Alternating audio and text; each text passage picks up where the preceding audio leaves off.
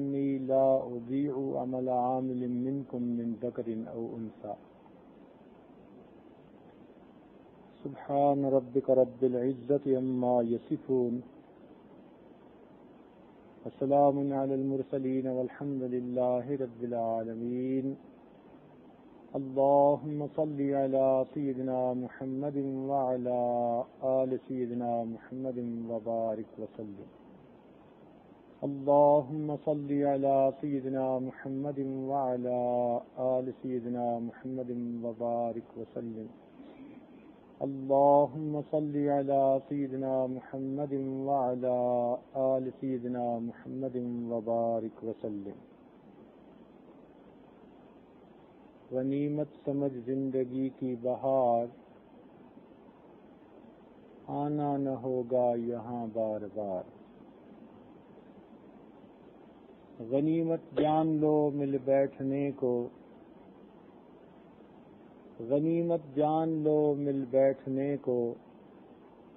जुदाई की घड़ी सर पर खड़ी है। हमारे मशाइ ने इर्शाद फरमाया अल वक्त सईफुन काति। वक्त एक काटने वाली तलवार की मानद है। इंसान सारी ज़िंदगी समझता है, वक्त गुजर रहा है। वक्त गुजर रहा है। वक्त गुजर रहा है। और मौत के वक्त उसे पता चलता है कि वक्त ने तो क्या गुजरना था, मैं ही दुनिया से गुजर गया।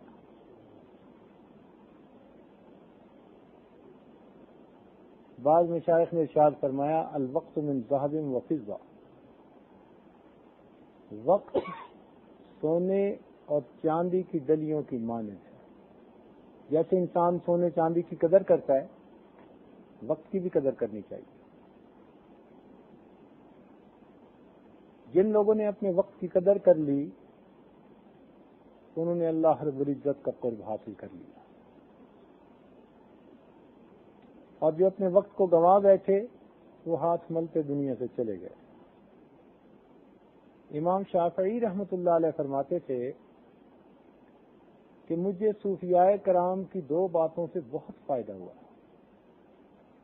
कहने वाले, इमाम। इमाम शाफी रहमतुल्लाह जैसी अबकरी शख्सियत, इल्मी शख्सियत वो फरमाते हैं कि मुझे सूफियाए कराम की दो बातों से बहुत फ़ायदा हुआ। पहली बात कि सूफिया का ये कौल है, अगर तुम वक्त को नहीं काटोगे तो वक्त तुम्हें काट के रख देगा। अगर तुम वक्त को नहीं काटोगे तो वक्त तुम्हें काट के रख देगा। और दूसरी बात कि अगर तुम नफ्स को हक में मशगूल नहीं करोगे तो ये तुम्हें जहन्नम में धक्का दे देगा। अगर तुम अपने नफ्स को नेकी में मशगूल नहीं करोगे तो तुम्हारा नफ्स तुम्हें जहन्नम में धक्का दे देगा।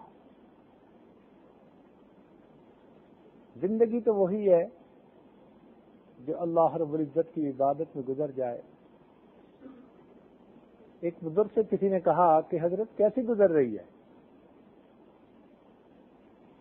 उन्होंने से आगे शेर में जवाब दिया, फरमाते हैं, मेरी जीत का हाल क्या पूछते हो? मेरी जीत का हाल क्या पूछते हो? बुढ़ापा न बचपन, न मेरी जवानी। जो चंद सातें याद दिल भर में गुजरी, वही सातें हैं मेरी जिंदगानी। बस जो वक्त अल्लाह ताला की याद में गुजर गया, वो तो ज़िंदगी है और बाकी सब का सब शर्मिंदगी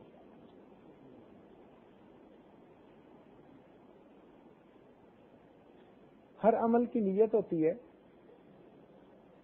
चुनाचे नबी साहब ने इर्शाद फरमाया इन नमल आमाल बिन्नीयात।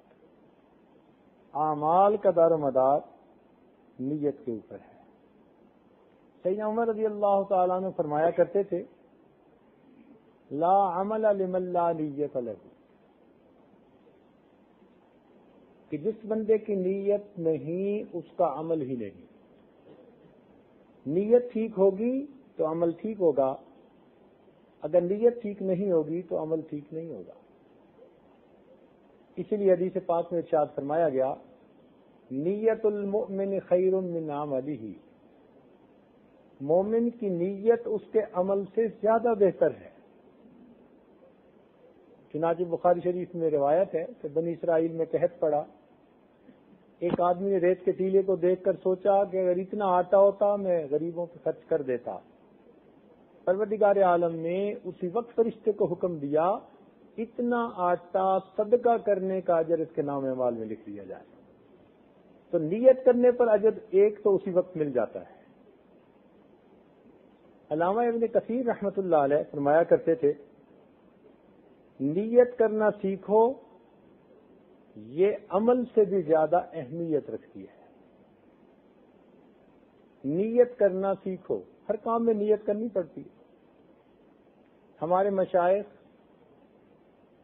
तरबियत के लिए खानकाहों में आने वाले लोगों को सबसे पहले नीयत सीखने का सबक देते हैं। इसलिए बात बुज़ुर्ग फरमाते कि मैंने आठ साल अपने शेख की सोबत में रहकर नीयत करना सीखा। हर अमल में नीयत कैसे करते हैं? जैसे बुज़ुर्ग किसी शागिर्द के यहाँ गए, उसने मकान बनाया था तो फरमाया, भाई, ये आपने रोशनदान कैसे रखवाया? कहने लगा, जी, इधर से हवा आती है, रोशनी आती है, मैंने इसलिए रखवाया। फरमान लगे, काश तूने नीयत करना सीखी होती। तो नीयत ये करता कि रोशनदान इसलिए रखवा रहा हूँ कि इसमें से मुझे अजान की आवाज़ आया करेगी। हवा और रोशनी तो आनी थी। नीयत में मुनसर है। अगर इस नीयत से रोशनदान बनवाता तो अजर भी मिल जाता। फकत हवा और रोशनी पर तो वो अजर नहीं मिल सकता। आम लोग भी बहुत बड़े बड़े अमाल कर लेते हैं। नीयत के ठीक न होने की वजह से वो अजर नहीं पा सकते जो अल्लाह के औलिया उन अमाल पर अजर पा लेते हैं।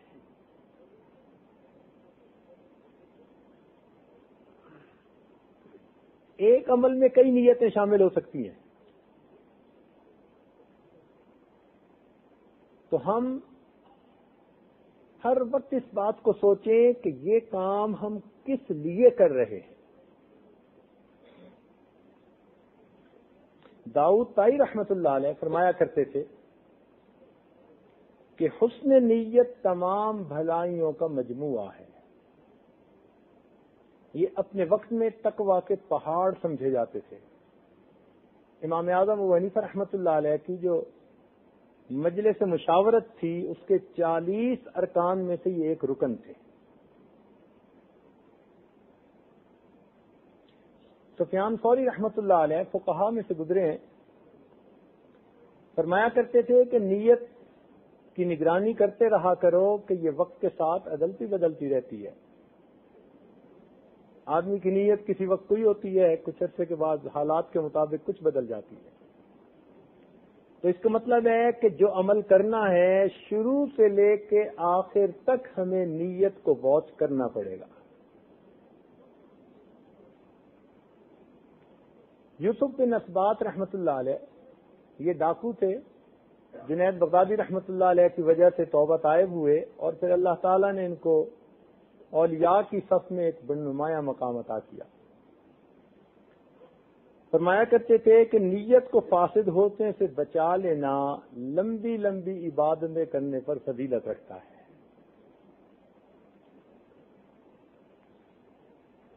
हज़रत अब्दुल्ला इबन मुबारक रहमत मुहदसिन में इनका नुमाया मकाम है।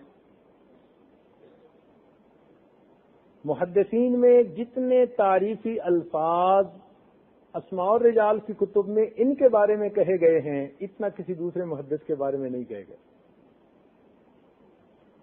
वो फरमाया करते थे कि मामूली आमाल हुस्न नीयत की वजह से अजीम शान बन जाते हैं, जबकि अजीम आमाल फसाद नीयत की वजह से मामूली बन करते हैं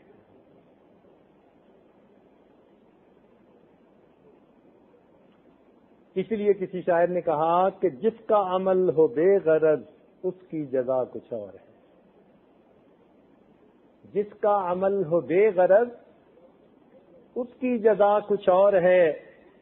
हूरो ख्याम से गुजर, बादा जाम से गुजर। हमें अल्लाह ताला ने अपने घर में हाजरी की जो तोफ़ी कता फरमाई तो हमें ये नियत करनी है कि हम एक सुन्नत पर अमल करने के लिए हाजिर हुए। एक ऐसी जगह पर जहाँ पर कई अल्लाह के चाहने वाले मुख्तलिफ़ जगहों से आकर इकट्ठे हुए। उन उशाक के साथ कुछ वक्त गुजारना, ताकि मुझे भी अल्लाह ताला के इश्क की कुछ पुड़िया मिल जाए। इजाज़त हो तो आकर मैं भी शामिल उनमें हो जाऊँ। इजाज़त हो तो आकर मैं भी शामिल उनमें हो जाऊँ। सुना है कि तेरे दर पर हजूम आशका होगा। अल्लाह तेरे दर पर कुछ आशिक इकट्ठे होंगे। मैं भी उनमें शामिल होना चाहता मैं भी आपका तलबगार।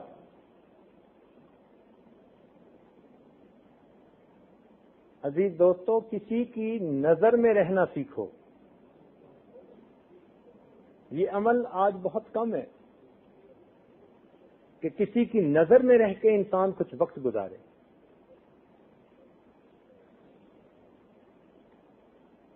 तालीम और तरबियत। तालीम तो किताबों से मिल गई। तरबियत कहाँ से मिलेगी?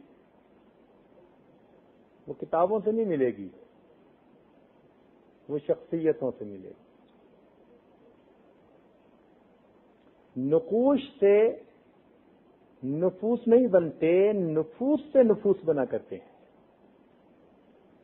सोहबत में आकर फिर इंसान रंग पकड़ता है। कहते हैं ना, खरबूजे को देखकर खरबूजा रंग पकड़ता है। इंसान जिस तरह की सोहबत में बैठे वही रंग इख्तियार करता है। हदीस पाक में फरमाया गया, अलमर वाला दीन खलील ही इंसान अपने खलील के दीन पर होता है, उसी तरीके पर होता है। तो कुछ वक्त हम ऐसी जगह गुजारें कि अल्लाह रबुल्जत की मोहब्बत की कुछ चाशनी हमें भी नसीब हो जाए। और ये तयशुदा बात है कि कंप्यूटर वालों के साथ बैठना उठना शुरू कर दो, कुछ अर्से बाद कंप्यूटर का बिज़नेस करने को जी जाएगा।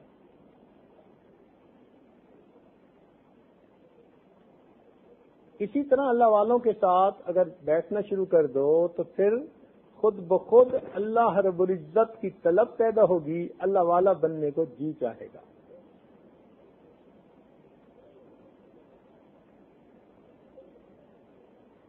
सब्ज़ी मिलती है सब्ज़ी वालों से। बर्फ़ मिलती है बर्फ़ वालों से।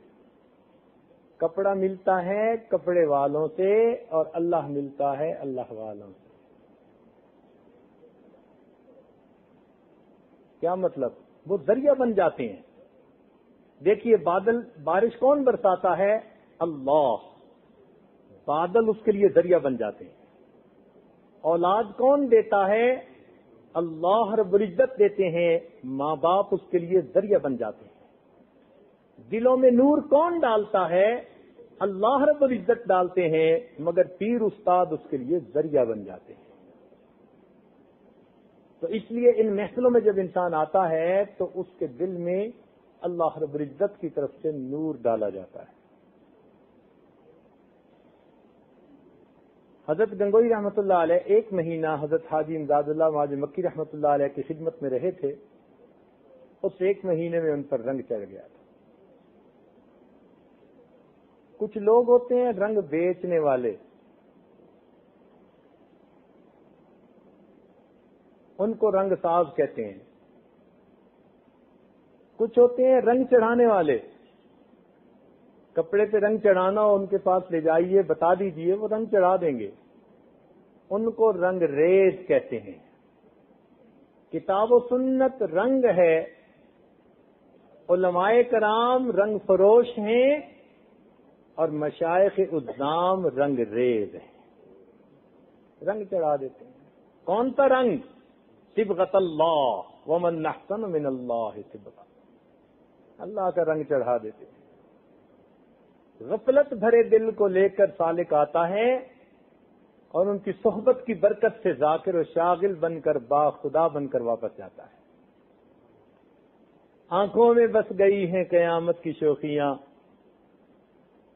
आँखों में बस गई हैं कयामत की शोखियाँ। दो चार दिन रहे थे किसी की निगाह में। हमारे इलाके में एक बुज़ुर्ग गुजरे हैं। हज़रत ख्वाजा अब्दुल्ला बेहलवी रहमत उनका दरस तफसीर, दौर तफसीर बड़ा मारूफ था। रमज़ान मुबारक में सैकड़ों उलमा मुल्क के तूलो अर्ज़ से उनके दौर तफसीर में शरीक होने के लिए हाजिर होते थे। उनके एक ताल्लुक वाले आलिम थे। वाक्य खुद सुनाने लगे कि मैं अपने शेख को मिलने के लिए गया। कुछ देर के बाद मैंने इजाज़त चाहिए कि हज़रत वापसी है, क्योंकि दर्स है और मुदरसिन के लिए इसबाक का पढ़ाना ज़रूरी होता है। मैंने कहा कि हज़रत मुझे इजाज़त दो, वापस जाने। हज़रत ने फरमाया, भाई, ये दरस तदरीस तो सारी ज़िंदगी का काम है। कुछ दिन हमारे पास भी गुजार जाओ। मेरे दिल में ख्याल आया कि शेख ने खुद फरमाया है चलो मैं तीन दिन गुजार लेता हूँ। मैंने नीयत कर ली। कहने लगे, तीन दिन गुजार कर जब वापस आया, मेरे दिल की कैफियत ऐसी बन चुकी थी कि आने वाले तीन सालों में एक दिन भी तहजद की नमाज़ कदा न हुई। तीन दिन की बरकत है। तीन दिन गुजारे और तीन दिन में वो रूहानी फैज मिल गया कि तीन साल तक तहजद की नमाज़ कदा नहीं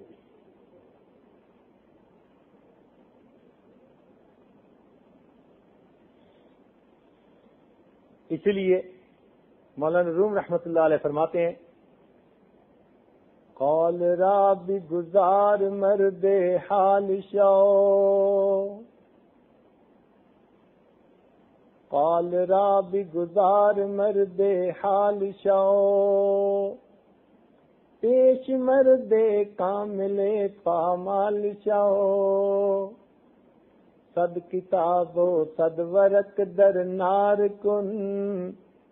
जानो दिल रा जाने बे दिलदार कुन। कि तू अपने काल को किसी साहिब हाल के कदमों में डाल दे। और किसी मर्द कामिल के सामने अपने नफ्स को पामाल कर दे। उनके सामने शागिर्द बनकर बैठ जा। ये काम बड़ा मुश्किल होता है। सौ किताबें, सौ वर्क बेशक तू आग में डाल दे, मगर अपने जान और दिल को अपने रब के हवाले कर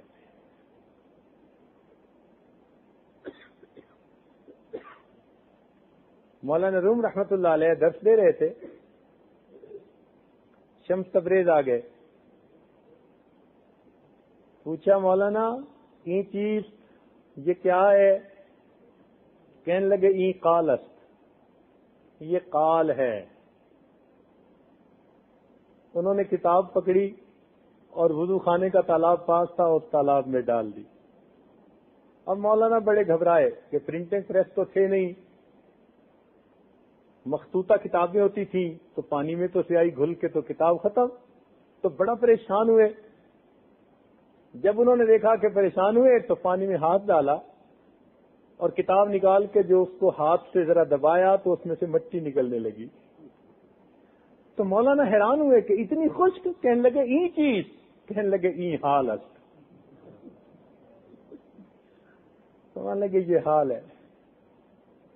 तो इस काल को साहिब हाल के कदमों में डालना पड़ता है।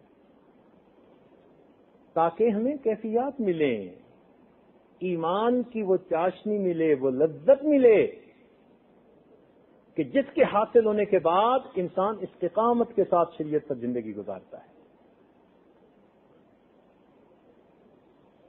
इसलिए मौलाना फरमाते थे कि मौलवी हरगिज नशद मौला एरूम ता गुलाम शम्स तबरेज नशद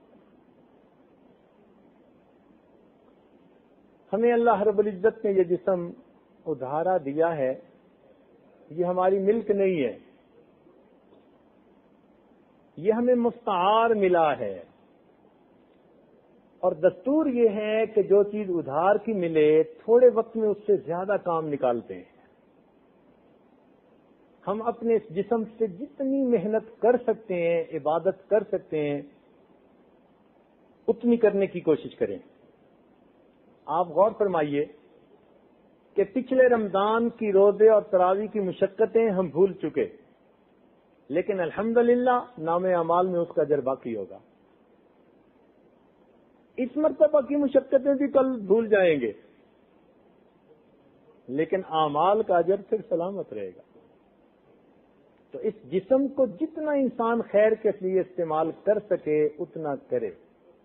जैसे बच्चे को बहला फुसला के काम निकाल लेते हैं, इस जिसम को भी बहला फुसला के इबादत कर लीजिए।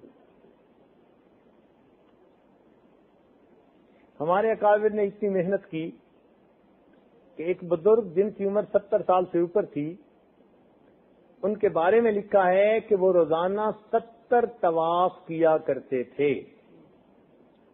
हर तवाफ के सात चक्कर तो चार सौ नब्बे चक्कर तो ये हो गए।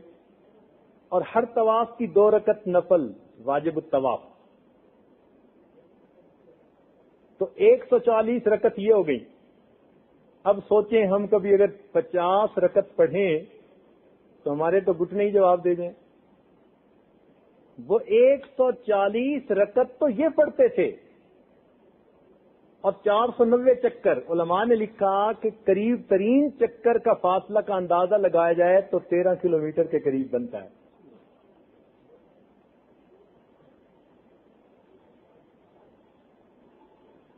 और ये उनकी ज़िंदगी के अमाल में से एक अमल था। बाकी अमाल इसके अलावा। इससे अंदाज़ा लगाइए कि हमारे काबरीन ने कितनी कस के मेहनत की। चुनाचे ईशा के वज़ू से फजर की नमाजें पढ़ा करते थे। इमाम आज़म रहमतुल्लाह के बारे में आता है कि जब उनकी वफात हुई तो हमसाए का बच्चा, जो अपने वालदेन के साथ मकान की छत पे सोता था, वो अपने वालिद से पूछने लगा, अबू, ये जो साथ वाली छत है, इस पे एक मीनारा होता था जो रात को हम देखते थे, अब वो मीनारा नज़र नहीं आता। तो वालिद ने कहा, बेटा, वो मीनारा नहीं था वो हनीफा थे, वफात पा गए, अब तुम उस मीनारे को कभी नहीं देखोगे। इतनी इबादत के हमसाए के बच्चे छत का मीनारा समझा करते थे।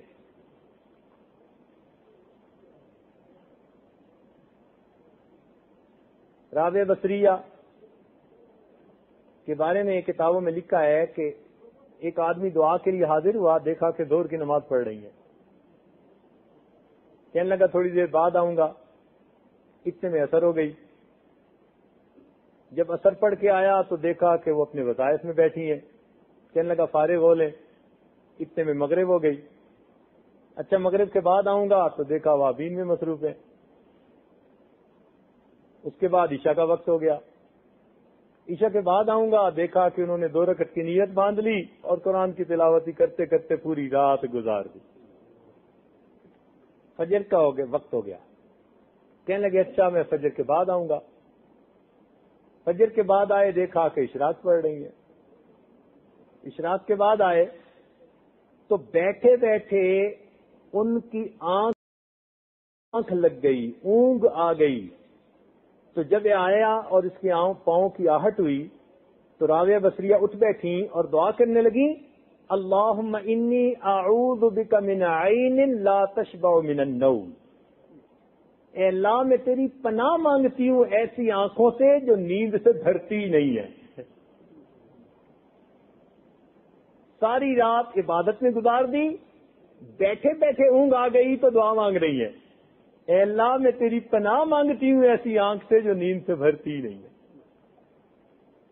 हमारा सोने का क्या हाल है? इतना वक्त का ख्याल रखा कि ममशाद दिनूरी रहमत ने देखा, एक बुज़ुर्ग को कि खुश सत्तू फांक रहे हैं। हज़रत पानी मिला के खा लें, आसानी होती है।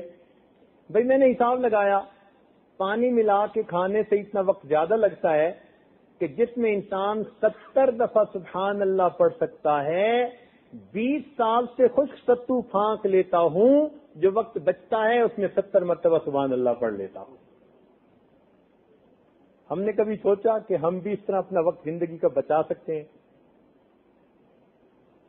इमाम राज़ी रहमत फरमाते थे, वल्लाह इन्नी अतासफ अल्लाह की कसम, मुझे अफसोस होता है उस वक्त पर जो मेरा खाने में गुजर जाता है कि उस वक्त में मैं किताब का मुताला नहीं कर सकता। खाने के वक्त पर अफसोस होता था।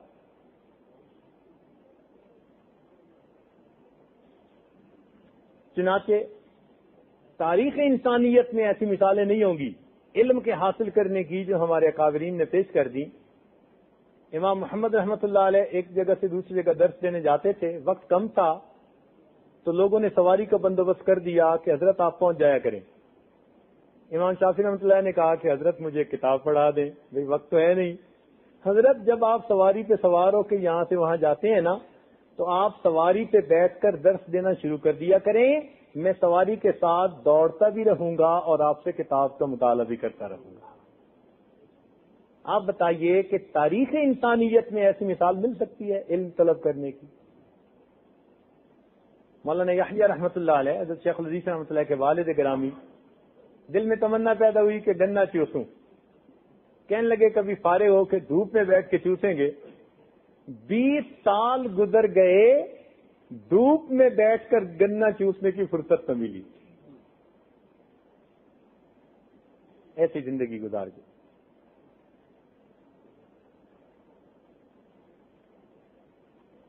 तो हम अपने वक्त की कदर करें। इसलिए कि इसी वक्त को हम चाहें तो सोना बना सकते हैं और इसी वक्त को हम सोने में गुजर सकते हैं।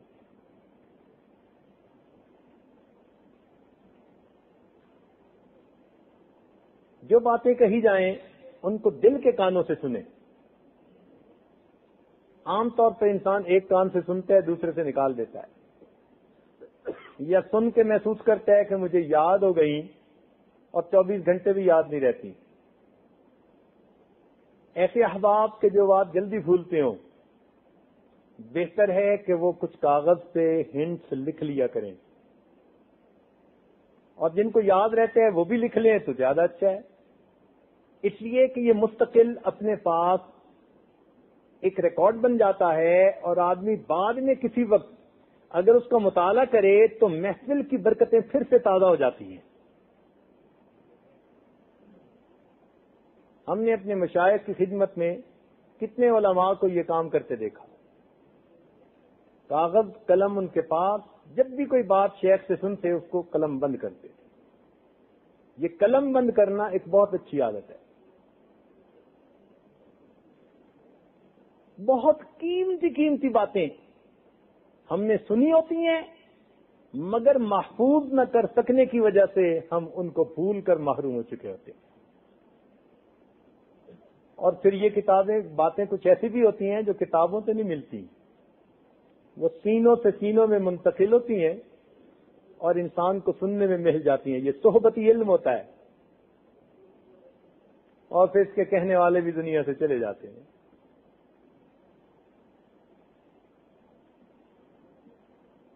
इसलिए शरीयत में इस चीज़ का बड़ा ख्याल रखा गया कि इंसान जो सुने, उस पर अमल करे।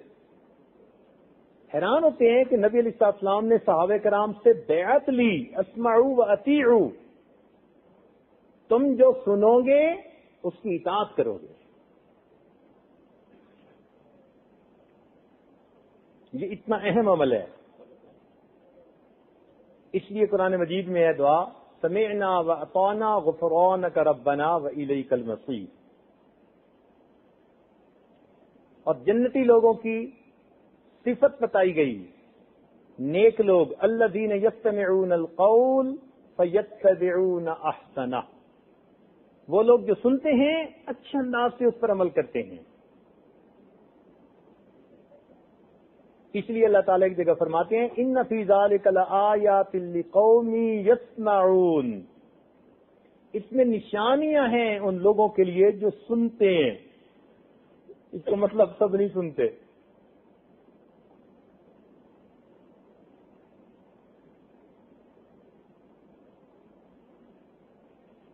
कुरान मजीद में अल्लाह ताला शाद फरमाते हैं वलऊ अराद अल्लाह खैर असमाहुम अगर अल्लाह ताला उनके साथ खैर का इरादा करता, उनको सुनने की तौफीक दे देता।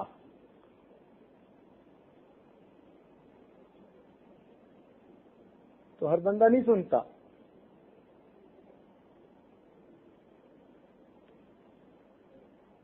तो सुनना अच्छा सुनने वाला होना, ये भी एक सिफत है। खास तौर पर जब आप इन मजालिस में बैठें तो कुरान पाक में तरतीब बताई गई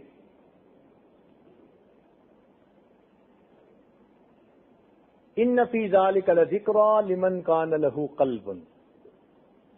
इन बातों में नसीहत है उनके लिए जिनके अंदर दिल हो। यानी दिल को हाजिर करके बैठे, पहली बात, दिल में तलब लेके बैठे। लिमन कान लहू कलबुन, जिनके अंदर दिल हो, और जिनके सीने में तिल हो। नहीं फ़ायदा होता। दिल हो, तलब हो। और अलकसमा हम तन होकर बैठे। वह शहीद, हाजिर बाश होकर बैठे। तो जो इस तरह तालिब, सादिक, हाजिर, बाश होकर बैठते हैं, फिर अल्लाह रबुल इज़्ज़त उनको सुनकर अमल करने की तोफी कता फरमा देते हैं। क्यामत के दिन जो लोग जहन्नम में जाएँगे तो जहन्नम वाले फरिश्ते उनसे पूछेंगे कि क्या तुम्हारे पास कोई समझाने वाला नहीं आया था? वो कहेंगे, आए तो थे। लवकुन्ना नस्माऊ, औ ना अकिलू मा कुन्ना फ़ी असाबिस्ताई ए काश अगर हम सुनते और हमारे अंदर अकल होती तो हम फिर जहन्नम वालों में से न बनते।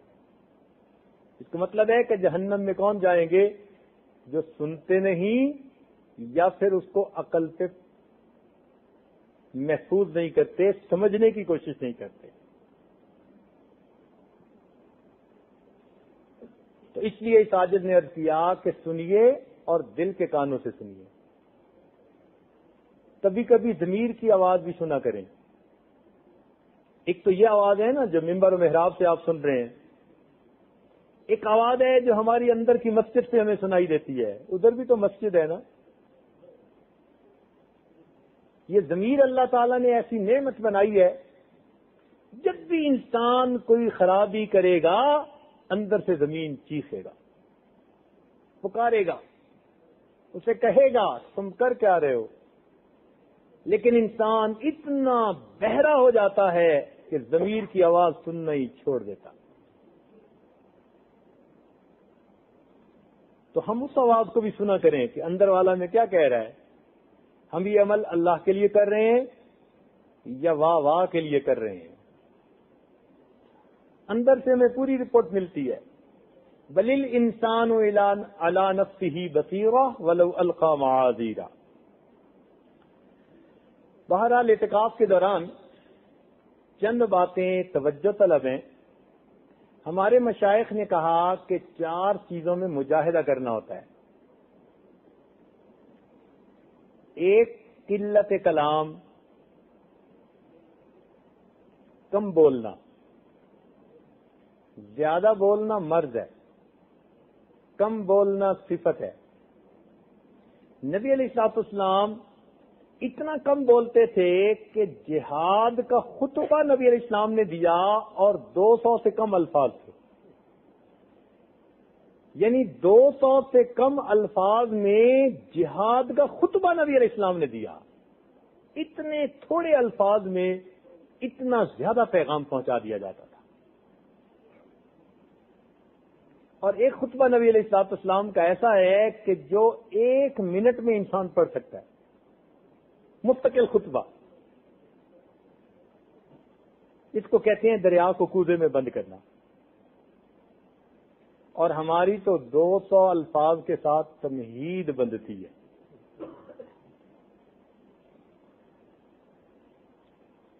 तो किल्लत कलाम।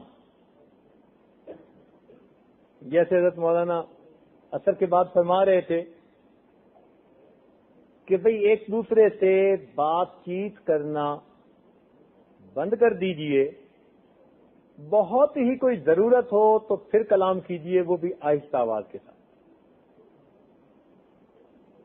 कह रहा है शोर दरिया से समुंदर का सकूत। कह रहा है शोर दरिया से समुंदर का सकूत, जितना जिसका जर्फ है, उतना ही वो खामोश है। हज़रत ख्वाजा बाकीबिल्ला रहमत हमारे सिलसिला के एक बुज़ुर्ग गुजरे, खामोश तबा थे, बहुत कम बोलते थे। किसी ने एक मरतबा कहा कि हज़रत, कुछ वादो नसीहत करें, फ़ायदा होता है लोगों को। हज़रत ने आगे से जवाब दिया कि भाई, जिसने हमारी खामोशी से कुछ नहीं पाया, वो हमारी बातों से भी कुछ नहीं पाएगा। जिसने हमारी खामोशी से कुछ नहीं पाया, वो हमारी बातों से भी कुछ नहीं पाएगा। ये वो मुजाहिदा है जो खानकाही माहौल में करना पड़ता है। होता यह है कि जब इंसान जरा कम बोलता है ना, फिर उसके अपने अंदर उलूम मारिफ बढ़ते हैं। तो किल्लत कलाम, ये पहला मुजाहिदा। दूसरा है किल्लत ताम। किल्लत ताम का क्या मतलब? कि ज़रूरत के मुताबिक खाए। ये नहीं कि ज़रूरत से भी कम खाए और उसकी बजाय फिर गोलियाँ खानी पड़ जाएँ। ज़रूरत के मुताबिक खाए, इसराफ न करे खाने में। कुलू पर तो अमल हो, कुलू ता गुलू पर अमल न हो।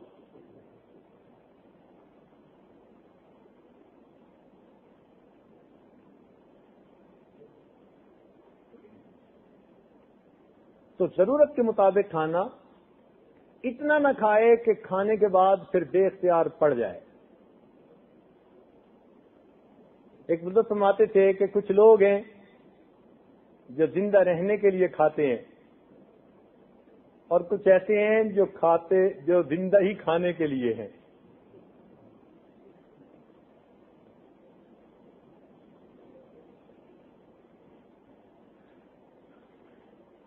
ये नेमत किल्लत ताम वाली हमें रोजा से नसीब हो रही है। आजकल। रोजा रखते हैं ना तो किल्लत ताम पर खुद ब खुद अमल हो रहा है। खानकाही माहौल में पहुँच गए तो किल्लत कलाम पर भी अमल हो जाएगा। तीसरी चीज़ है किल्लत मनाम। थोड़ा सोना। थोड़ा सोना से क्या मुराद? के ज़रूरत के मुताबिक सोए।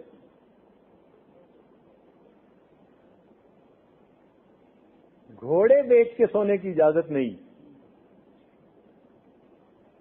और ये तयशुदा बात है कि जो इंसान डट के खाएगा, वो जम के सोएगा।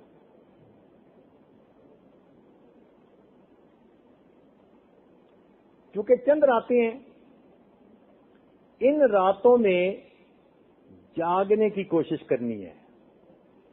एक स्केड्यूल बना दिया गया, आप पेश कर देंगे। उसके मुताबिक आप सोइए और जागिए। एतदाल होगा। नींद भी मिल जाएगी, इबादत का भी मौका मिल जाएगा।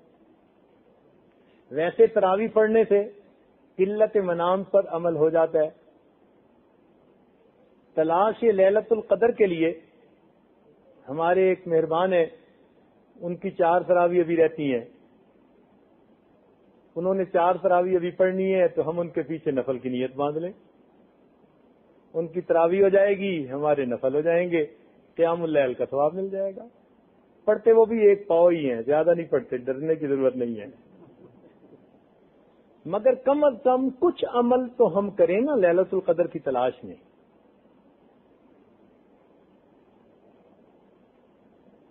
जब नींद आए ना और आँखें नींद को तरसे तो वो खुश होने का वक्त होता है। क्यों?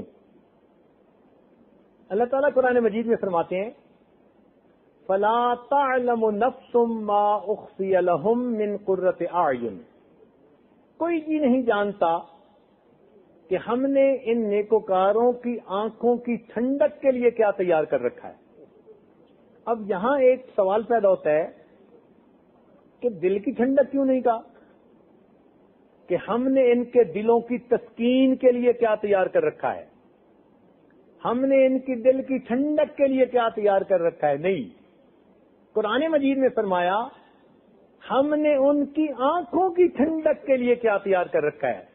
तो मुफसरी ने इसका जवाब लिखा कि जो लोग रातों को जागेंगे, क्योंकि रात को जागने से आँखें नींद को तरसती हैं, अल्लाह ताला क्यामत के दिन अपना दीदार अता करके वो लज्जत देंगे कि जिनको देख के आँखों को ठंडक मिल जाएगी। इसलिए अगर आँखें नींद को तरसे तो खुश हों कि अल्हम्दुलिल्लाह, एक वक्त आएगा कि इन आँखों की, इस नींद की कमी की लाज रखी जाएगी और इनको तस्कीन अता की जाएगी। तो किल्लत मनाम तरावी से और क्यामुल्लैल से इंशाला इस पर भी अमल हो जाएगा।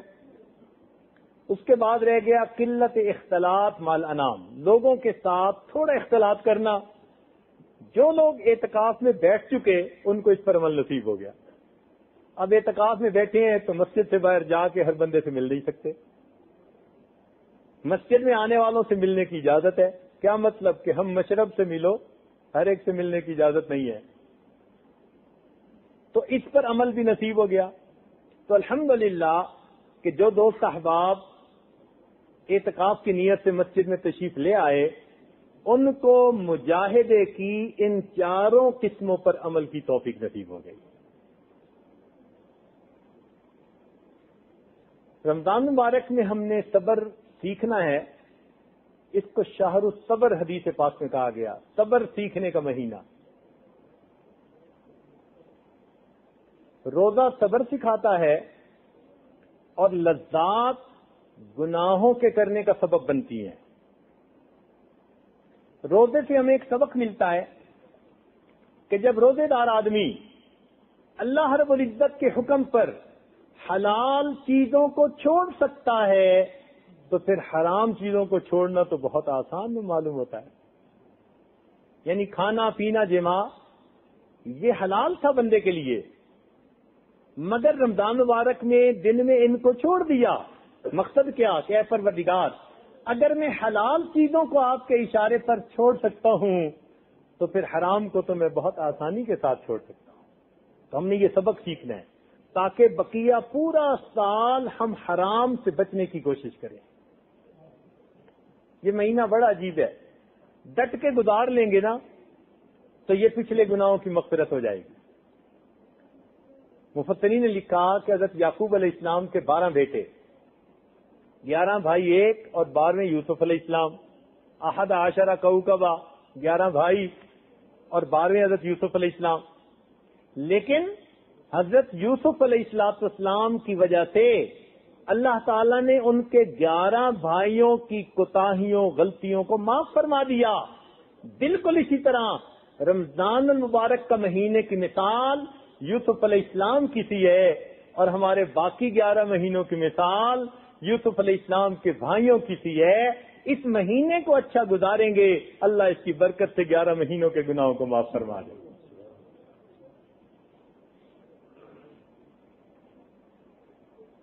इसलिए हमने मस्जिद में रहकर अपने नफ्स की मुखालफत करनी है।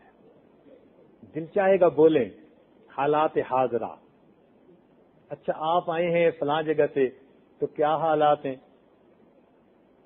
गप्पे मारने को दिल करता है। और इंसान उसको समझता है कि हम तो अच्छी बातें, नेक बातें कर रहे हैं। इसमें मत उलझिए। इसलिए कि वक्त कम है। इस वक्त को अपने परवरदिगार से बातों में गुजारिए। लोगों से बातें करने के लिए घर बेहतरीन जगह थी। अब जिसके घर में आ बैठे हैं, हक बनता है उसी से बातें करें। इसलिए जितना वक्त मिले तिलावत कुरान में खत कीजिए। तिलावत कुरान पाक करने वाला बंदा अपने परवरदिगार के साथ हम कलामी कर रहा होता है।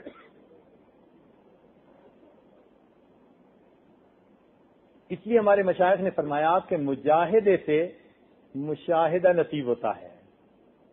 मुजाहिदे से मुशाहिदा नसीब होता है और मुजाहिद कौन होता है? हदीस पाक में फरमाया अल मुजाहिद मन जाहद नफ्सहूफी तातिल्ला मुजाहिद वो होता है जो अल्लाह ताला की इतात के मामले में अपने नफ्स के साथ मुजाहिदा करे। तो हमने शरीयत की पाबंदी के लिए नफ्स के साथ मुजाहिदा। देखें मुजाहिदा तीन तरह का। एक होते हैं मुखालफत फिल मासी। गुनाहों के बारे में नफ्स की मुखालफत करना, ये इंसान पर फ़र्ज़ होता है। मुखालफत फिल मासी क्या है? इंसान के ऊपर फ़र्ज़ है। एक होती है मुखालफत हजूद, हज और लज्जत में नफ्स की मुखालफत करना।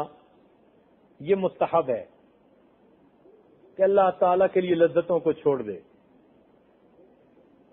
और एक है मुखालफत फिर हकूक, नफ्स के हक के बारे में मुखालफत करना, ये नापसंदीदा है। इसको मना कर दिया गया।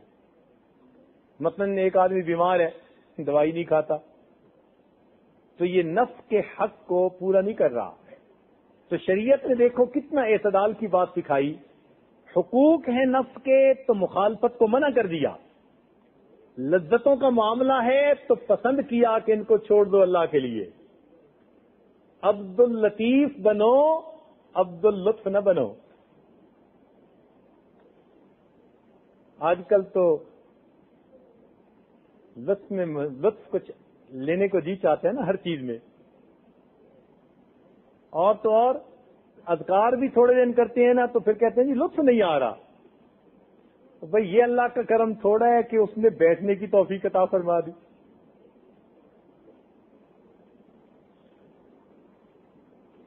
एतकाफ रकूफ से है, इसका मतलब होता है किसी जगह जम जाना, बैठ जाना, रुक जाना, अपने आप को पाबंदी में रख लेना। तो मोतकफ आदमी अपने ऊपर गोया पाबंदियों को लागू कर लेता है। ये एक सुन्नत अमल है, मगर अलल किफाया है कि पूरे मोहल्ले में से अगर एक बंदा भी बैठ जाएगा तो सारे मोहल्ले वालों की तरफ़ से ये सुन्नत अदा होने का ज़रिया बन जाएगा।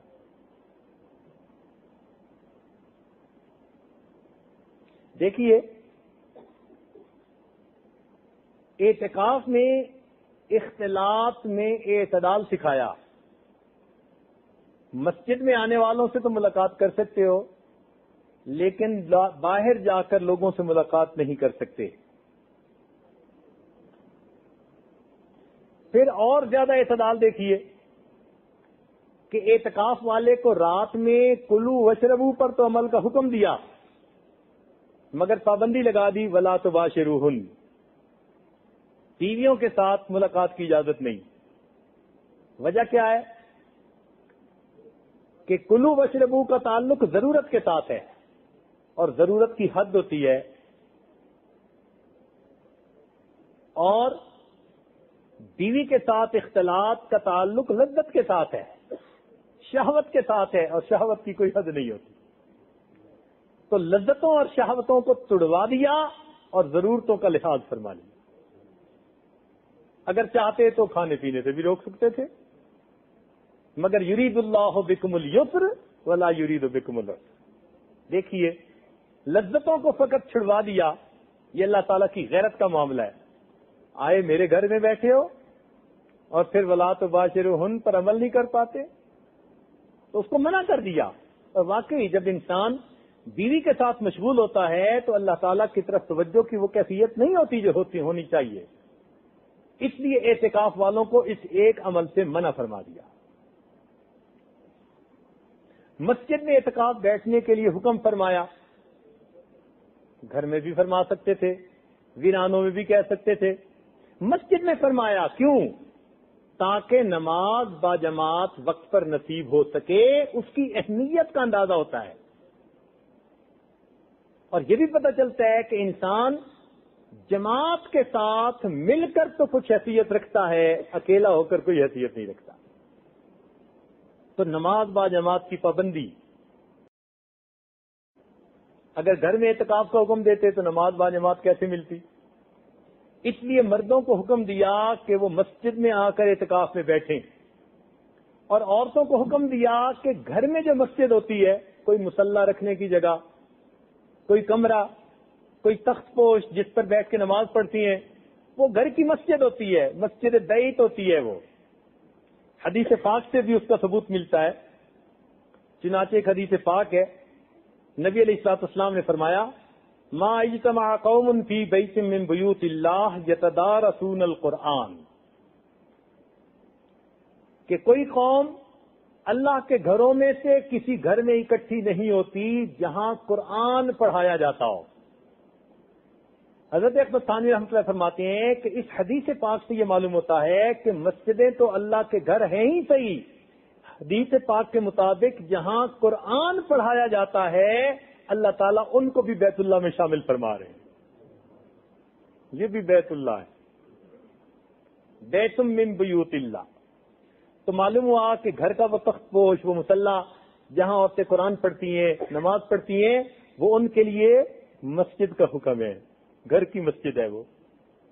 लिहाजा औरतों को कहा कि तुम घर की मस्जिद में एहतिकाफ बैठो और मर्दों को कहा कि तुम मोहल्ले की मस्जिद में एहतिकाफ में बैठो।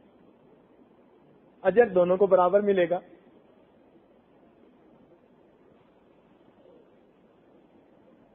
अल्लाह रब्बुल इज़्ज़त ने सहूलत का बड़ा लिहाज रखा। इतना कि अगर घर से कोई खाना लाने वाला नहीं तो हुक्म दिया कि एतकाफ में हो, मगर फिर तुम घर से जाके अपना खाना ला सकते हो, ताकि तुम खा सको। यहाँ से एक मसला और भी वादे हुआ कि शरीयत ने सवाल से मना फरमा दिया। गैर की तरफ़ मत देखो, मोहताजी ना करो किसी की, कि जी कोई ला के हमें दे मस्जिद में। कोई नहीं लाने वाला अपना बेटा, भाई, खुद जाके अपने घर से रोटी ला सकते हो। तो सवाल को ना पसंद किया। और यही इमाम यादव मनीफ रहमत का जौक था कि नबी अलैहिस्सलाम हत्तुल वसा सवाल से गुरेज फरमाते थे। इल्मी सवाल की इजाज़त, लेकिन चीज़ों के सवाल से परहेज फरमाते थे। इसलिए एक सहावा की जमात से बैत ली कि तुम किसी से सवाल नहीं करोगे। और वो लोग इतना इस पर अमल करते थे कि अगर सवारी पर बैठे हैं, कोड़ा गिर गया तो किसी से कहते नहीं थे, उठा के दें। खुद उतरते थे, कोड़ा उठाने के बाद फिर सवार हुआ करते थे। और यही इमाम आज़म रहमत का मिजाज था। चुनाचे, अगर तयम अगर पानी ना हो बंदे के पास, और किसी और के पास पानी है तो बाकी फोका कहते हैं कि मांगना लाजमी उसके ऊपर है कि उनसे मांगे, अगर नहीं देते, फिर तयम करे। इमाम साहब ने कहा, नहीं तयम के लिए मांगना शर्त नहीं है। सवाल शर्त नहीं है। अपने वसाइल में है तो करे वज़ू पानी से, अगर अपने वसाइल में नहीं तो मांगना शर्त नहीं है। क्योंकि कई मरतबा आदमी की तबीयत होती है, नहीं सवाल करना पसंद करता किसी से। तो इमाम आज़म ने देखो कैसा मसला लिखा सुबहान शरीयत के नबी इस्लाम के मिजाज को सामने रखा कि आप बे, इस तरह सवाल को पसंद नहीं फरमाते थे। तो शरीयत ने आसानी दी कि अगर कोई लाने वाला नहीं तो तुम घर जाके अपना खाना ला सकते हो। मजीद आसानी देखिए कि आए तो एतकाफ वाले हैं ललतुल कदर की तलाश में, मगर परवरदिगार ने आसानी कर दी, दस की दस रातों में नहीं जगाया। फरमाया एक रात जाग लो, फिर दूसरी तकलीफ़ है, आराम कर लो। फिर जाग लो, फिर आराम कर लो। इसलिए कि ललत और कदर को अल्लाह ताला ने वितर रातों के अंदर बना दिया है। कितनी आसानी अपने बंदों के लिए फरमा दी अल्लाह ताला ने। कि जो एतकाफ में आकर बैठे, उनको भी मुतवातिर दस रातें जागने का हुक्म नहीं। फरमाया कि नहीं भाई, जो 21, 23, 25, 27 इस तरह की रातें हैं। इनमें लैलत कर होने के चांसेस ज़्यादा हैं। इनमें ज़्यादा जागो और दूसरी रात में तुम बेशक कुछ आराम कर लो। तो एक रात जगाया एक रात आराम। एक रात जगाया एक रात आराम। और वो सब देखिए कि अगर कोई आदमी ऐसा है कि उसके घर कमाने वाला कोई नहीं। तो फरमाया कि तुम अगत्य मस्जिद में इतकाफ की नीयत से आ चुके हो, लेकिन अगर तुम इतनी तिजारत करो कि जिससे तुम रोजी कमा के बच्चों को पहुँचा सको तो इतनी तिजारत करने की भी इजाज़त अता फरमा अल्लाह रब्बुल इज़्ज़त ने अपने बंदों की जायज़ जरूरियात का कितना ख्याल फरमाया है। वमा जाकुम फिद्दीन मिन हरज। वाकई दीन के अंदर अल्लाह ने हरज नहीं रखा। और मजीद बात हदीस पास में आते हैं।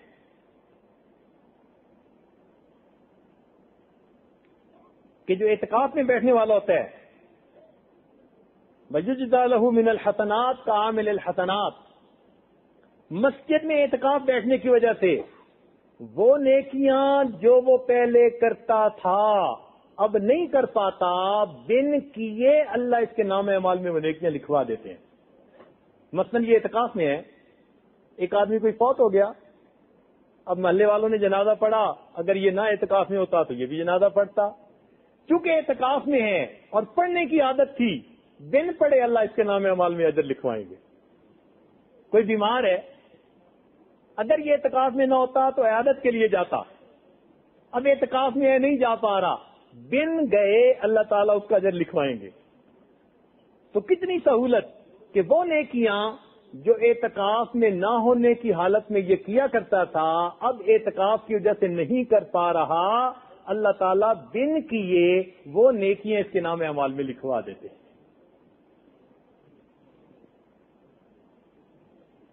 और ये भी जेन में रखिए कि अल्लाह ताला अमीर और मामूर को पसंद करते हैं। अगरचे हम एतकाफ में आए हैं मगर अमीर के तहत वक्त गुजारेंगे तो इसका फ़ायदा ज़्यादा। उलमा ने लिखा है कि हज़रत मूसा इस्लाम भी अल्लाह के पैगंबर हैं। और हज़रत हारून इस्लाम भी अल्लाह के पैगंबर हैं, मगर दोनों में से अल्लाह ने एक को अमीर बनाया, दूसरे को मामूर बना दिया। इससे बड़ी मिसाल और क्या हो सकती है कि अल्लाह ताला इसको पसंद फरमाते हैं। हदीस पास में आता है कि जिस बंदे ने चालीस चालीस दिन अल्लाह के लिए खूब डटकर इबादत की, अल्लाह ताला उसके कल्ब से हिकमत और इल्म के मार्फत के चश्मे निकाल देता है। इसीलिए चिल्ला, मारूफ है हमारे बुज़ुर्गों में शुरू से ही। बनी इसराइल पर चालीस दिन के रोज़े थे। पहली उम्मतें चालीस दिन के रोज़े रखती थी। अजीब बात कि इस उम्मत को अल्लाह ताला ने रोज़े तो तीस दिए, अजर चालीस का दिया। एक अजीब इल्म नुकता। अल्लाह ताला ने उम्मत मोहम्मदिया पर मेहरबानी फरमा दी कि रोज़े फ़र्ज़ कितने फरमाए? तीस दिन के। मगर अजर कितना दिया? चालीस दिन का। वो कैसे वो ऐसे कि आखिरी दस दिनों में जो एतकाफ को सुन्नत बना दिया, एतकाफ वाले, क्योंकि दिन में भी मोतकफ होते हैं, रात को भी मोतकफ होते हैं, उनकी रात के दिनों को शामिल, रात को भी शामिल करके तीस दिन तो ये हो गए, यानी बीस दिन हो गए रमज़ान के, और दस दिन के दिन और रातें उनको अलग अलग गिने तो बीस दिनों के बराबर वो गई, चुनाचे मोतकफ एक महीना रोज़े रखेगा दस दिन एहतिकाफ करेगा, अल्लाह इसकी बरकत से चालीस दिन रोजादार रहने का जरता फरमा दे तो एतकाफ की बरकत से इस उम्मत को तीस दिन के रोजों पर चालीस का अजर अता फरमा दिया।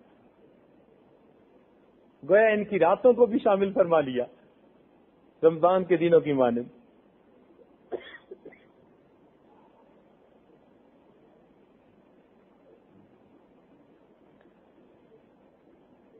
हज़रत ने फरमाया करते थे, हासिबू कबल अन तो हासबू तुम अपना मुहासबा करो, इससे पहले कि तुम्हारा मुहासबा किया जाए। ये अपना मुहासबा करने का बेहतरीन वक्त है कि हमें चंद दिन मिल गए। इसमें हम जरा अपने आप पर नज़र दौड़ाएँ। एक वालिद थे, वो अपने बेटे को कहते थे, बेटा, तुम जो काम भी करो, मुझे रिपोर्ट दिया करो, मुझे रिपोर्ट दिया करो। वो बेटा चंद दिन तो हर काम की रिपोर्ट देता रहा।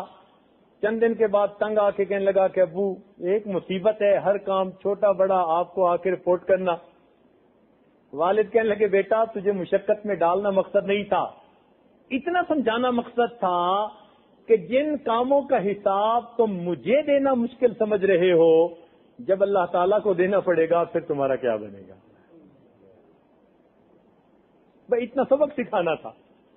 कि अगर मुझे हिसाब देना तुम्हें इतना मुसीबत नज़र आता है तो फिर क्यामत के दिन जब अल्लाह ताला के सामने हिसाब दोगे तो फिर तुम्हारा क्या बनेगा? देखिए, हमारे मशाइ इस तरह अपने बच्चों की तरबियत फरमाते थे। हम दूसरों की अच्छाइयों पे नज़र रखें, अपनी बुराइयों पे नज़र रखें।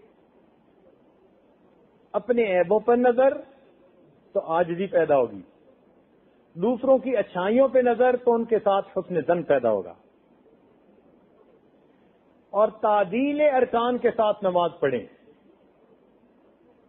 यानी इन दिनों में जो नमाजें हम पढ़े ना, तादील अरकान के साथ, तसल्ली की रकतें पढ़ें। बस ये समझें कि अल्लाह ताला ने मौका तो अता फरमाई दिया। क्या भागी दौड़ी की नमाजें? तो इन दिनों में तसल्ली की चंद रकत पढ़ने की कोशिश फरमाए और अपने नामे अमाल में तसल्ली की चंद रकतें पढ़ना लिखवा जाए। सुकून के साथ।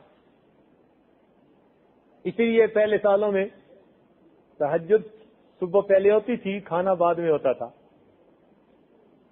और कईयों को फ़िक्र लगी रहती थी कि पता नहीं शहरी मिलेगी या नहीं मिलेगी। तो हमने इस साल अपना मामूल बदल के शहरी पहले कर दी। कि इतमान से खाना खाएँ, फिर तसल्ली से नमाज़ पढ़े। क्योंकि जब सैरी कर ली, अब तो और करने का काम कोई नहीं। तो हमने कहा कि चलो तसल्ली की चंद रकतें मिल जाएँ। इतमान की नमाजें अदा करने की कोशिश फरमाएँ। नियम नमाज़ में ध्यान जमाने की मशक फरमाए इन दिनों में। ये ये वक्त अल्लाह ताला ने अता फरमा दिया है। ऐसा बेहतरीन वक्त हमें मालूम नहीं ज़िंदगी में फिर कब मिलेगा। कब तक हम बेजौक सजदे करेंगे और बेसरूर नमाजें पढ़ेंगे। और अगर कोशिश के बावजूद भी ऐसी नमाज़ नसीब नहीं होती तो फिर अल्लाह ताला से रो के मांगे। रो के मांगे। इलाही मुझ पे करम कर, बड़े अजाब में हूँ। इलाही मुझ पे करम कर बड़े अदाब में हूँ कि तेरे सामने बैठा हूँ और हिजाब में हूँ। अल्लाह के सामने बैठ के भी हिजाब में और रोने की क्या बात इससे बड़ी हो सकती? अब आखिर में दो बातें छोटी छोटी तवज्जो तलब है। आपका एतकाफ में आकर बैठ जाना अमल की कबूलियत की दलील है। आपका एतकाफ में आकर बैठ जाना इस अमल की कबूलियत की दलील है। वो कैसे?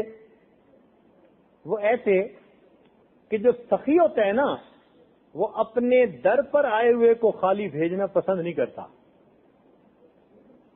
तो अगर दुनिया के सखी अपने दर पे आए हुओं को खाली भेजना पसंद नहीं करते तो सखियों के परवरदिगार अपने दर पे आए हुओं को खाली कैसे भेजेंगे अगर वो ना देना चाहते होते तो कोई ना कोई वजह बन जाती। कोई घर का बीमार होता, कोई काम निकल आता, कोई मसला बन जाता, न पहुँच पाते। अल्लाह ताला के लिए बड़ा आसान था कि जिसको नहीं देना, उसको अपने दर पे आने ही न दे। वैसे भी बंदों का भी दस्तूर है कि जिसको पसंद करते हैं, घर के दरवाजे के करीब उसे देखना ही पसंद नहीं करते। घर में बुलाना तो दूर की बात होती है। घर में उसी को बुलाते हैं कि जिससे उनको मोहब्बत होती है, प्यार होता है, अपना समझते हैं। अल्लाह ताला ने अपने घर आकर बैठने की जो तौफीक दी, ये आ जाना और बैठ जाना ही अमल की कबूलियत की दलील है।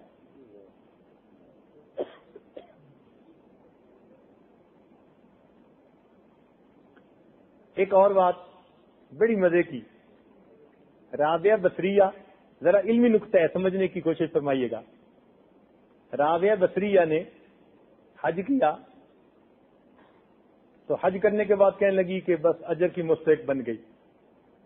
खुश होकर कहने लगी, हज किया तो हज करने के बाद क्या? खुश होकर कहने लगी कि मैं अजर की मुस्तक बन गई। किसने कहा, वो कैसे? कहने लगे कि अव्वल तो मुझे हज करने का अजर मिलेगा। अव्वल तो मुझे हज करने का अजर मिलेगा। और अगर ना मिला तो ये तो मेरे लिए बड़ी मुसीबत है और मोमिन को मुसीबत पर भी अजर मिला करता है।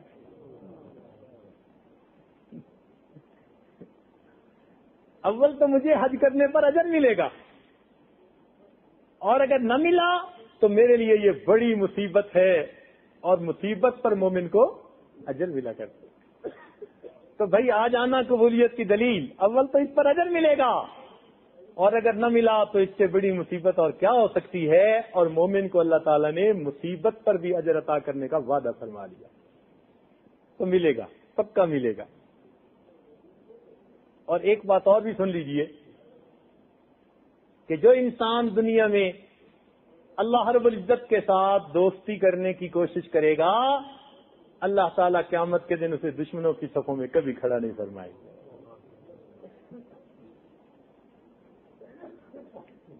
जब किसी के घर जाते हैं तो उसको मनाने के लिए जाते हैं ना? दोस्त समझ के जाते हैं ना? तो जो एतकाफ में आकर बैठे हैं, या एतकाफ वालों के महफिलों में शामिल होने के लिए मकामी हजरात आ जाते हैं वो भी ये सजर में शरीक हो जाते हैं।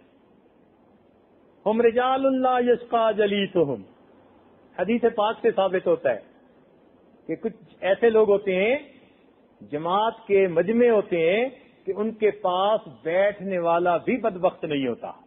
उसको भी अजर मिलता है। तो इसलिए अल्लाह रब्बुल इज़्ज़त से अजर की पक्की उम्मीद रखिए। हमने दुनिया में बहुत दोस्तियाँ बनाई क्या नतीजा पाया? बस अब ये समझे कि हम यहाँ इसलिए आए हैं कि अब हम अल्लाह ताला से अपना दोस्ती का ताल्लुक बनाना चाहते हैं। फ़िक्र दुनिया करके देखी, फ़िक्र उकबा करके देख। फ़िक्र दुनिया करके देखी, फ़िक्र उकबा करके देख। छोड़कर अब फ़िक्र सारे ज़िक्र मौला करके देख। फ़िक्र दुनिया करके देखी। फ़िक्र उकबा करके देख। छोड़कर अब फ़िक्र सारे ज़िक्र मौला करके देख। कौन किसके काम आया, कौन किसका है बना? सबको अपना करके देखा, रब को अपना करके देख।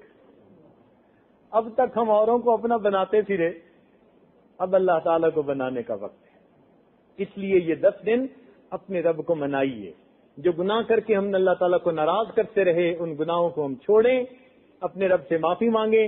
तन्हाई के औकात में, रात की और तन्हाइयों में अपने रब के सामने सजदा रोजो के दुआ मांगे, हाथ फैला के दुआ मांगे। जो आदमी किसी के दरवाजे की दहलीज पकड़ के बैठ जाता है, खटखटाता रहता है आखिर दरवाज़ा खोलने वाला खोल दिया कर तो मोतकिफ अल्लाह रब्बुल इज़्ज़त के दर की चौखट पकड़ के बैठने वाले का दूसरा नाम है। मोतकिफ कौन होता है? अल्लाह ताला के दर की चौखट पकड़ के बैठने वाले। जब चौखट पकड़ के बैठ ही गए, इंशाल्लाह दरवाज़ा खुलेगा, अल्लाह ताला की रहमत होगी। हम उम्मीद करते हैं कि फरवदिगार आलम हम आज मिस्कीनों का यहाँ हाजिर होना कबूल फरमाएँगे और हमें अपनी रहमतों में से हिस्सा अता फरमाएँगे। अगरचे हम इस अहल तो नहीं है मगर परवरदिगार के यहाँ काबलियत नहीं, कबूलियत का मामला है। एक तरफ़ डर भी बड़ा लगता है कि काबलियत हमारे अंदर नहीं है, मगर उम्मीद भी बड़ी लगती है, अल्लाह अगर आपने काबलियत पर बात रखी होती तो हमारा तो ठिकाना ही नहीं था। ये कितनी खुशी की बात है कि आपके यहाँ काबलियत नहीं, कबूलियत की बात है। तो कबूल तो हम भी हो सकते हैं। इसमें कौन सी रुकावट है? वही सुहागन जिसे पिया चाहे। तो इसलिए दुआ मांगिए कि परवदिगार आलम हमें अपना बना ले और हमारी ज़िंदगी में एक नेकी वाला इनकलाब पैदा फरमा दे। और हम जिन गुनाहों की नहूसत में ज़िंदगी गुजारते आए हैं, अल्लाह ताला उन नहूसों से हमें महफूज फरमा दे और नेकीकारी परहेजगारी की ज़िंदगी के साथ वापस लौटाए वाखिर दावाना अनिलहमदिल्लामी दुआ से पहले चंद मिनट के लिए मुराकबा कर लीजिए। आँखों को बंद कर लीजिए, सर को झुका लीजिए। दुनिया और जो कुछ दुनिया में है, उससे हट कट के अल्लाह ताला की याद में डूब जाइए।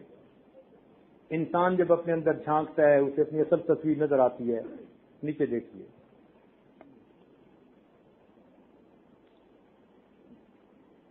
अल्लाह को अपना बना लो अल्लाह को अपना बना लो अल्लाह को अपना बना लो ये ज़िंदगी एक मोहलत है, रूठे हुए रब को मना लो। अल्लाह को अपना बना लो। अल्लाह को अपना बना लो। अल्लाह को अपना बना लो। अल्लाह को अपना बना लो। अब सब रिश्तों को छोड़ो, अल्लाह से रिश्ता जोड़ो। अब सब रिश्तों को छोड़ो, अल्लाह से रिश्ता जोड़ो। हर गैर से अब हट कट के, अल्लाह से लो लगा लो। अल्लाह को अपना बना लो। अल्लाह को अपना बना लो। अल्लाह को अपना बना लो। अल्लाह को अपना बना लो। अल्लाह से गफलत कैसी? अल्लाह से दूरी कैसी? अल्लाह से गफलत कैसी? अल्लाह से दूरी कैसी? अब सब विरदों को छोड़ो, अल्लाह को विरद बना लो। अल्लाह को विरद बना लो। अल्लाह को दिल में बसा लो अल्लाह को दिल में बसा लो अल्लाह से लो लगा लो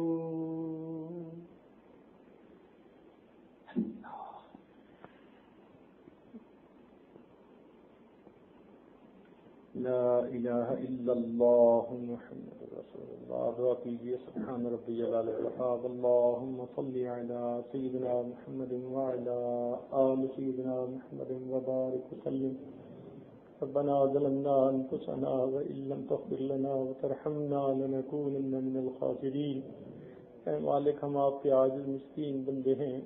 हमारे गुनाहों को माफ़ फरमा हमारी खताओं से दरगुजर फरमा हमारे ऐबों की परदोशी फरमा ए मालिक हमारा यहाँ हाजिर होना कबूल फरमा।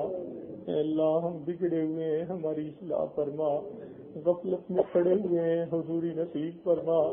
मेरे मौला, हम बिखरे हुए हैं, हमें जमाइत नसीब फरमा। अल्लाह, हम दुनिया के मतवाले बने फिरते हैं, हमें अपना आशिक और सादिक बना। रब करीम हमारे साथ रहमत का मामला फरमा, हमारे दिलों को जाकिर बना। हमें अपनी मोहब्बत की चाशनी नसीब फरमा। अल्लाह, हमें मकाम एहसान वाली नमाजें नसीब फरमा। अल्लाह, उम्र बढ़ती जा रही है, वक्त गुजरता जा रहा है। हम कब तक गफलत की नमाजें पढ़ते फिरेंगे? मालिक, कुरान पढ़ते हैं, हलावत महसूस नहीं होती। रब गरीब तेरे दर पर आकर बैठे हैं। तेरे दर के साइल हैं। ए मालिक रहमत फरमा दीजिए। हमें ईमान हकीकी की हलावत नसीब कर दीजिए। रब करीम तिलावत की लज्जत अता फरमा दीजिए। रात के आखिरी पहर के मुनाजात की लज्जत नसीब कर दीजिए। रब करीम, हमें मकाम एहसान वाली नमाज़ पढ़ने की तोफीक अता फरमा दीजिए। रब करीम, हमारे साथ दरगुजर का मामला फरमाइए। अल्लाह, हमने अब तक जितने भी गुनाह किए सच्ची तौबा करते हैं, मेरे मालिक तौबा कबूल फरमा लीजिए। आइंदा हम चाहे न चाहे तिचानी के बालों से पकड़ के हमें नेकी करने की तोफी कता फरमा दीजिए। अल्लाह, हमें रियायत के साथ, आदाब के साथ एहतिकाफ का वक्त गुजारने की तोफी कता फरमा दीजिए। रब करीम, हमें नफ्स शैतान के मकरफरेट से बचा लीजिए। रब करीम, हमारी इन दुआओं को अपनी रहमत से कबूल फरमाइए। जो कुछ सुना गया, उस पर अमल की तोफी कता फरमाइए। और इसके बदले हमें अपनी रजा, अपनी लिखा अपना मुशाहिदा अता फरमा दीजिए। रबना तकब्बल मिन्ना, इन्नका अंतस समीउल अलीम। वलैना इन्नका अंतत तव्वाबुर सल्ला हबीबी सईदना महमद वसहाबी अजमाइन बरहमती कया अरहमर्राहिमीन Allah